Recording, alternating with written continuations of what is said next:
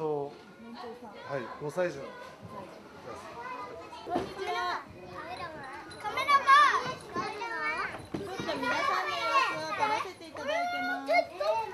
何してるの？あ、お、お店屋さん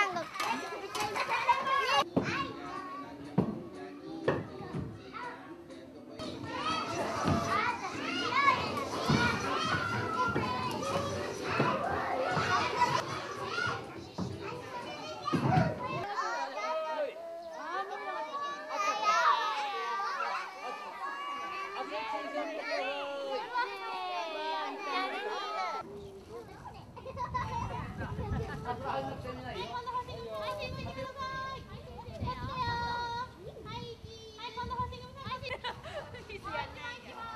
コニコオッケーだってオッケーです中に遊ぼう。中に遊ぼう。食べないんだよとごめんね外は。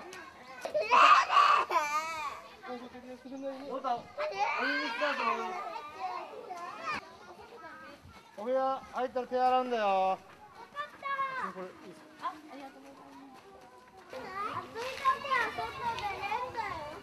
お外ね。だね。出れるんだよ。出れるんだけどさ保育園では出てんだよ。本当に出てんのかうん保育園では出れないんだよねたま砂が遊んで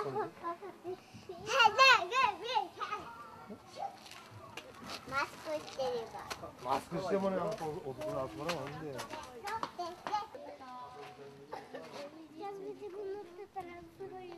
すごい高かった。お部屋入ろう。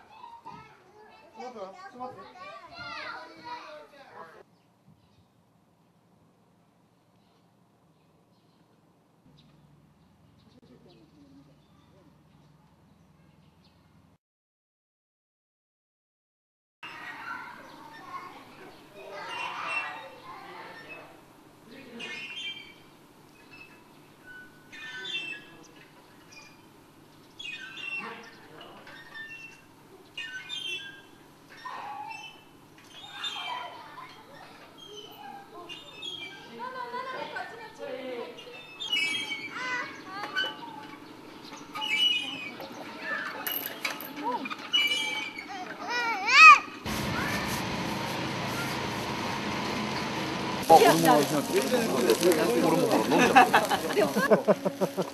い。ありがとうございましたはい。乾杯。はい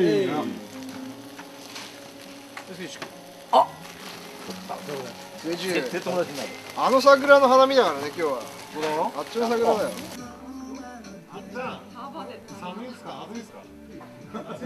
子供がいない時はやってる帰って寂しいっつうかなんか暇なんですよ。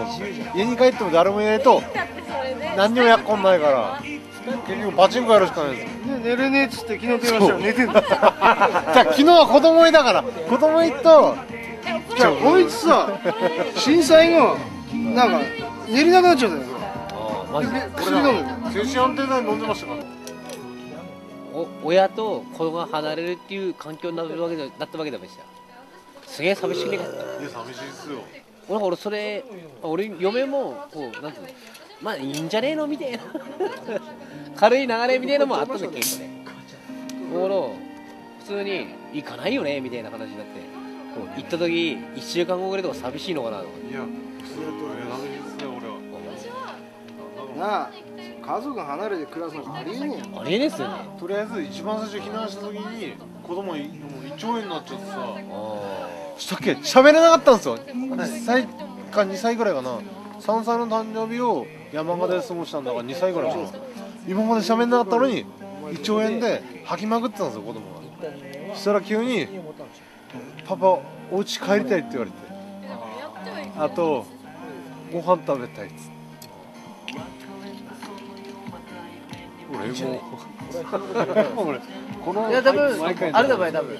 せいちゃんの家の あの表のアパートかもしれないそれが実家なんだよね多分。ねで今もパパのお家になっちゃってそうだよね。山形がミキのまあ子供のミキっつうんですけどミキのお家すげえショックだったなあれは。お家帰りたいわ本当こんだけなバカンされてだって俺の子供あれだもん宇宙に行って放射能止めてくるからって言ったからねマジで。じゃあまあそこまでこっちってもう倍に変えるってしか言ってないから。正直な次は。泣くの早いよバカ。俺も一回なんですよこれ。俺だって泣きてえよなあ一年が長かったな。長えな。レイジもうちょいだよ頑張れ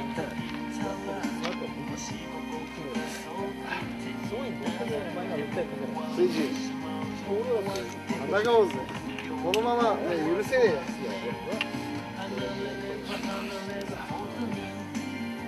ふざけんな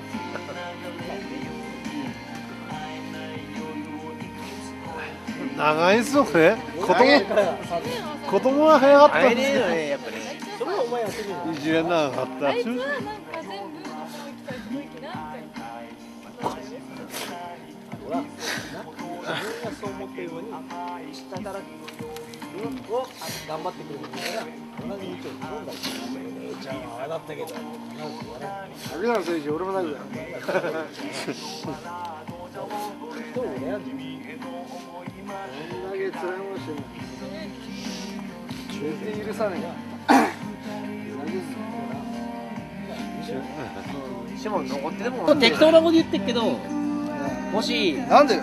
怒ろうぜ俺たち。怒ろうぜ。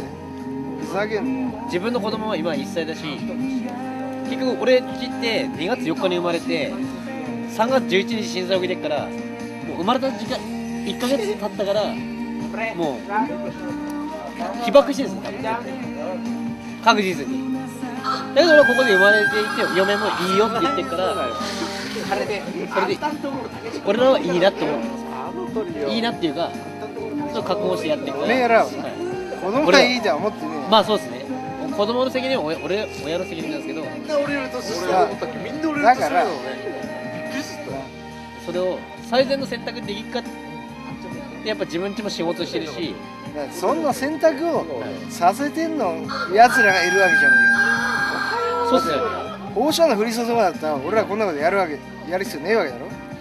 そりゃそうっすよなあそこでなんで黙って我慢しなきゃいけない。んだよ俺1年間一回も家族旅行してねえし何もできてねえ。でもしゃあねえと思うけどさ。許せねえ。俺の1年返せよ。って金も時間も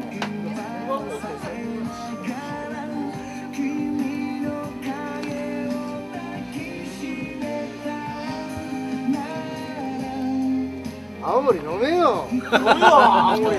理解して理解できないんだよねうちの子供また。そのまま10年後分かればいいじゃん。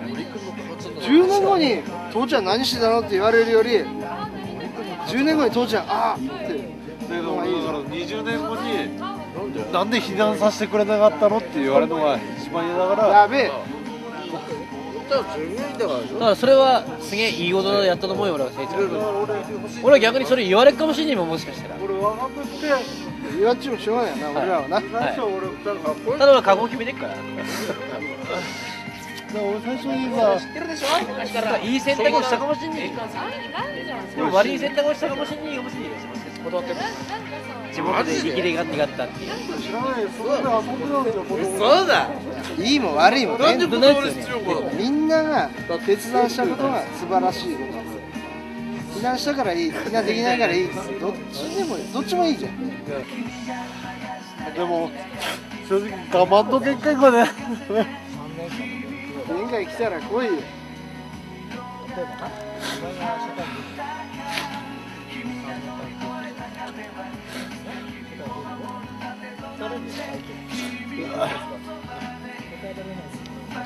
限界も来るわな残像まで落ちないじゃん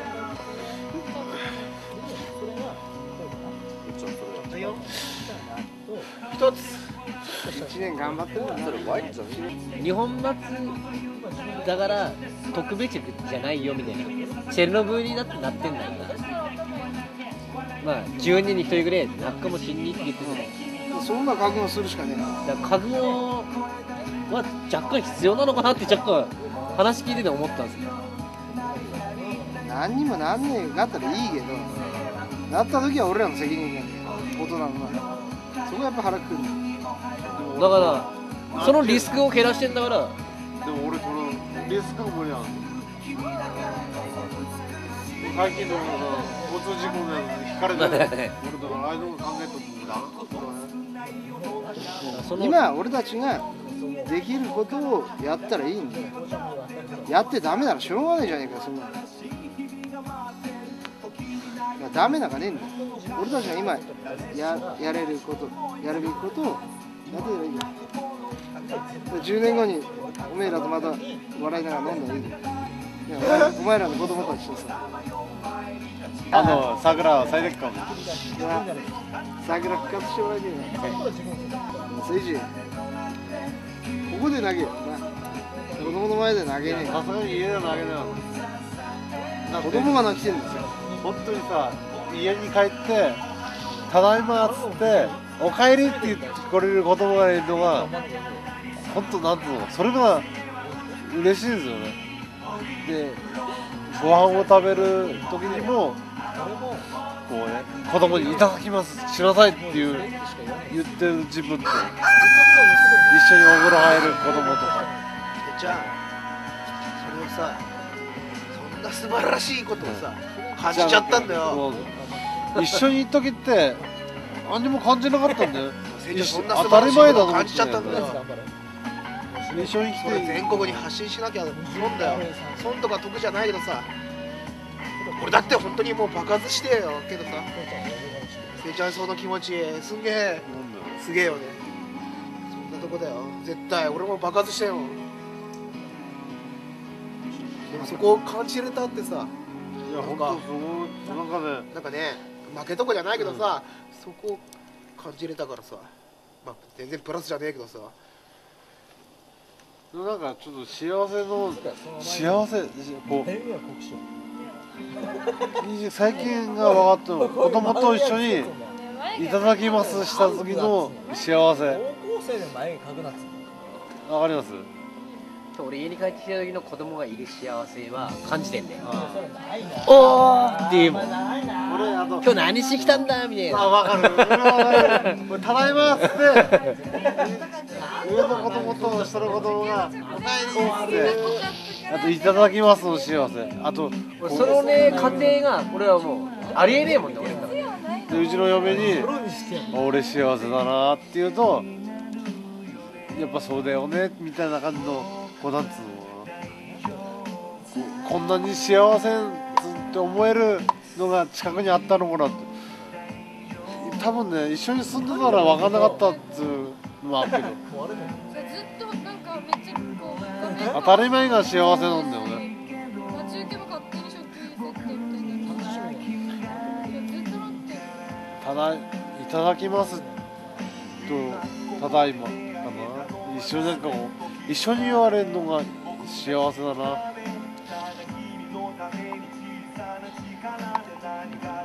あとパパと寝たいって言われた時。すげえ嬉しい。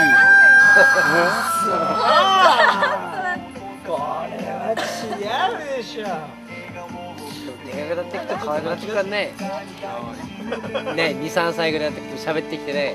パパとかって言われてねじゃあもうパパと結婚するって言ってますね。うるさいって言ってか ら俺もそうだったよ。娘でもそれをぶち壊してるさ放射能があるわけじゃん。それになんで黙んなきゃいけねえんだよ俺らがさ。それそういう方で絶対ありますよ全部全てですよね。ありがあ絶対ありがとうって思えるって俺は思ってるからさ。絶対に将来。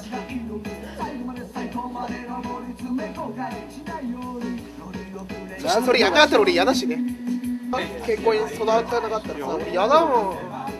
あの時注意しなかった俺の俺が悪いんだもん。誰が悪いとかじゃなくてさ俺は嫌だわ。俺も嫌だ。俺も嫌だ。絶対嫌だ。お父ちゃんあの時何してたんってだけは言われたくない俺も嫌だ。子供の子供が健康に育ってくれてさオリンピック選手なんかなれなんか言わねえけどさ元気よく育ってくれればってでもそこの中でさきっとさ絶対感謝の気持ちすげえよ。東方幼稚園にあれだけさお米やってくれてさ子供はぜ子供は分かんないけどさお母さんはさありがとうってすげえありがたいと思ってるさかなって僕思うんだ最近。もう感謝の気持ちだけは。福島の子供はさ人一倍。絶対になってほしいなと思ってると僕は。なあ。